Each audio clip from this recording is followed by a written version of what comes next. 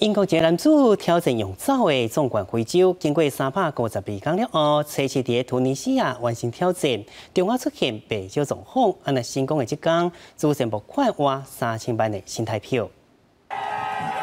This is it.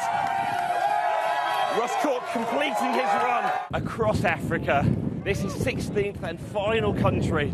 库克冲过终点线，接受众人喝彩，佮讲完成任务啊！伊甲记者讲，家己已经真忝啊，已经讲走完规个非洲，用三百五十二天，最后伫突尼西亚拉斯安杰拉地线，这段路程也佮有另外一个大收获，就是成功募到七十万英镑，相当代表两千八百三十六万的存款，会用伫帮助无依无赖的人，甲提供撒哈拉难民营自力更生、人才知识等教育活动。He cares about honestly bringing people together and changing people's lives. 二十七岁库克原本拍算为突尼西亚遭到南非伫无安排休困日的情况，伫两百四十天内走完三百六十个马拉松，想要到出发进程，阿尔及利亚签证出状况，伫最后一刻改变计划，今年四月支持为南非上南边出发，两月下至河南沙尾甲撒哈拉沙漠，第五十天，伊甲团队成员伫安哥拉拄着抢劫，相机、手机啊、现金、护照拢互抢走。第两百天因为无休困，警方出状况，吼，医生强迫缩地招标。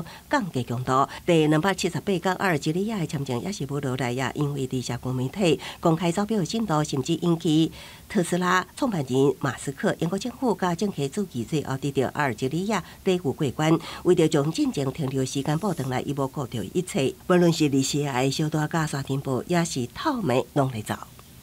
The main goal is to challenge yourself, do something incredible, which is what is you know, hardest geezer is all about. 库克青少年时期有心理健康、跋筊、建筑的问题。二十一岁迄年，啉酒了后，煞突然清醒，感觉是应该改变啦。为酒吧走长去迄天，疏通一寡代志，加上朋友的烧酒，就开始招标。即马伊希望，若是家己的人生改变，也希望带互他人走向无共的人生。公司新闻吴林编译。